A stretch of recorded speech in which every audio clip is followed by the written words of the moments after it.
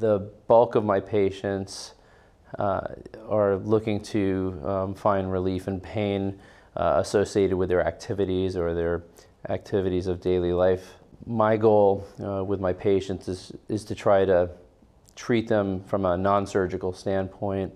Uh, for those that require surgery, I'll uh, obtain the proper testing and uh, at least try to maximize out their non-operative care before uh, sending them for surgical consultation because everybody has different needs and goals.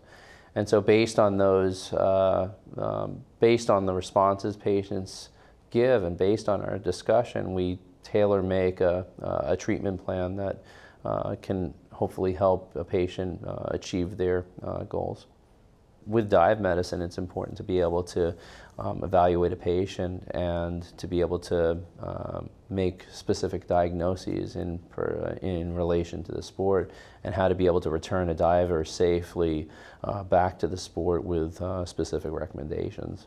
My hobbies obviously include scuba diving. Uh, I also uh, enjoy road biking.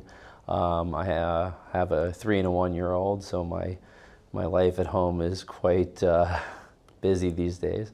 When I have a, an opportunity to, to get out and enjoy uh, the area around, uh, I take advantage of it when I can.